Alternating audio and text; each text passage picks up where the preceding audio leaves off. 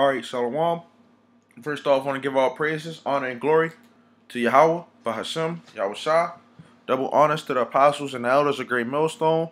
And this is Sid Shalom to all the Akim out here that's doing and pushing the work in truth and in sincerity. I want to go in on this topic. Um, hopefully, this is an um, edifying topic, you know, Lord willing. Um, the title will be How Do You Know That the Lord is Dealing with You and Not Satan? Okay? So, with that said, I'm going to go ahead and jump into the lesson. This is Job 9 and 24. It says, The earth is given into the hand of the wicked.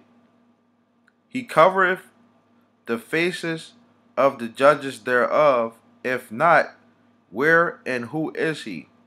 Okay? Now, the question or the title of the video is How do you know that the Lord is dealing with you and not Satan? Okay? Now, Satan is controlling the world somehow, some way. Okay? The scripture says that the earth is given into the hand of the wicked. Well, you have to find out who is the wicked. If you consider yourself a man of the Lord, who is the wicked? Okay? And how are they uh controlling the earth? And what way, what shape, form, or fashion is the wicked controlling the, the, the um the earth? Okay? Who are the judges? Okay. Um let me get this scripture. Uh Luke four and one. Uh it says, and I'm gonna read I'm gonna say it uh, verbatim, okay, which the one who the world ignorantly calls Jesus, his name is Yahweh Shah. Okay, when you go into the um letter a blue letter Bible, Okay, when you go into the when you click on uh, the Strong's Concordance, and you go under Jesus in the Hebrew, um, right here, it's to say uh, Yahweh Shah. Okay, this is the Hebrew. Okay, um, and it's also right here. Uh, no, that's uh Yash Yahshua. Okay, this is Yahweh Shah. Okay. Okay. Um. So in the Hebrew, his name is Yahweh Shah, right? But for the lesson, I'm gonna uh, just say uh, verbatim. Uh, Luke four and one, and Jesus, be, being full of the Holy Ghost, returned from Jordan and was led by the Spirit into the wilderness, being forty days tempted of the devil. And in those days he did eat nothing and when they were ended, he, he afterward hungered. And the devil said unto him, If thou be the Son of God, command this stone that it be made that it be made bread. And Yahweh Shah, or Jesus, said, answered him, saying, It is written that man shall not live by bread alone, but by every word of uh, of God, Yahweh, the Most High. Okay, Yahweh Shem Yahweh Shah. Okay, this is one clue that um if you are um go consider yourself a man of the Lord, okay, the scripture says that, you know, man should not live by bread alone, but by every word of God. Okay, and if you live by every word of God, okay, you should be able to break down who the wicked are. Okay, according to the word. Okay, it says, And the devil taking him up into an high mountain showed unto him all the kingdoms of the world in a moment of time. And the devil said unto him, All this power will I give you, and the glory of them, for that is delivered unto me, and to whomsoever I will I give it. Okay, so once again, the lesson says, How do you know that the Lord, the Most High, and His Son is dealing with you or Satan.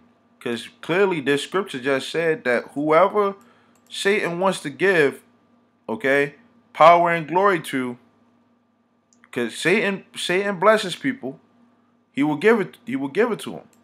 Okay? And this also ties into who the wicked are. Okay? So if you know or, or feel as though that the Lord is dealing with you, you're supposed to be able to break down these scriptures and, and apply them onto your life.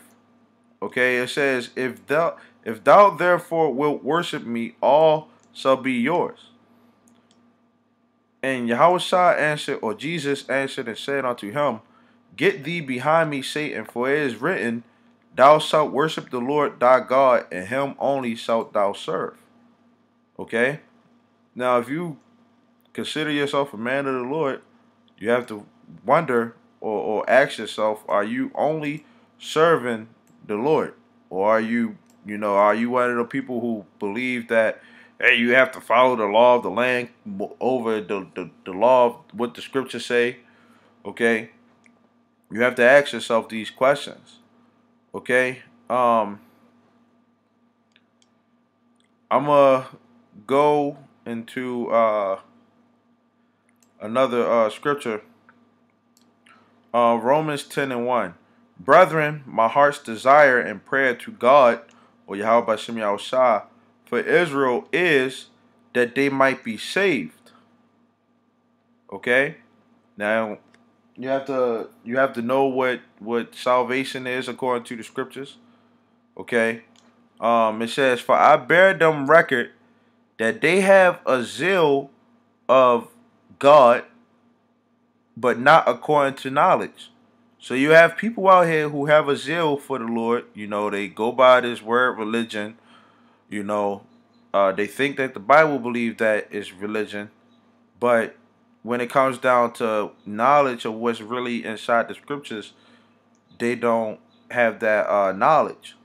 Okay, so once again, this goes back into the title of the video. How do you know that the Lord is dealing with you and not Satan? Okay? You can have a zeal for the Lord, okay? But how do you know that the Lord is dealing with you? It say, For they being ignorant of God's righteousness and going about to establish their own righteousness, have not submitted themselves unto the righteousness of God. Okay? Um this is James 2 and 18. Yeah, man may say, Thou hast faith and I have works. Show me thy faith without your works, right? Which you got a lot of people out here that say that they have faith. They believe in they believe that there's a God, you know, but when it comes down to actually trusting in that God, they don't. Okay, so how do you show that you trust in the Lord? Okay, if you consider yourself to be a man of the Lord or even a woman, how do you show that you fear or that you have faith in the Lord? And say, and I will show you my faith by my works. Right? So if you um are putting in works, what works are you doing? Okay? It says, Thou believest that there is one God, thou doest well. The devils also believe and tremble. So what separates you, okay, from the devils and from the true servants of the, the of God, okay? What separates you? Okay? Um, I'm gonna go to this last scripture, Jeremiah 12 and 1. Righteous art thou, O Lord, when I plead with you, yet let me talk with you of your judgments. Wherefore doth the wicked, I mean, doth the does the way of the wicked prosper? Okay, and this this where's the way of the wicked in this society? How is the wicked prospering? Okay. Um, wherefore are all they happy that deal very treacherously? Thou hast planted them, yeah, they have taken root. They grow, yeah, they bring forth fruit. Thou art near in their mouth and far from their reins. So you have a lot of people out here that, as the scripture say, you know, they have a zeal for the Lord, but not according to knowledge. Uh, people people say that they believe in God. The devils believe in God. Okay, but what such separates you from them? Okay, what separates you from uh the the the, the real from the fake? Okay. Um, well, that's pretty much it, man. I'm gonna just end it with that. You know, if you believe that you are a man of the Lord or whatever, hey, you can, you know, post scriptures or, you know, um, do a lesson or whatever. Uh, you know, even ask yourself this question, man. You know, what separates you from everybody else if you consider yourself a man of the Lord or a woman of the Lord. Okay? But with that, I want to say Shalom.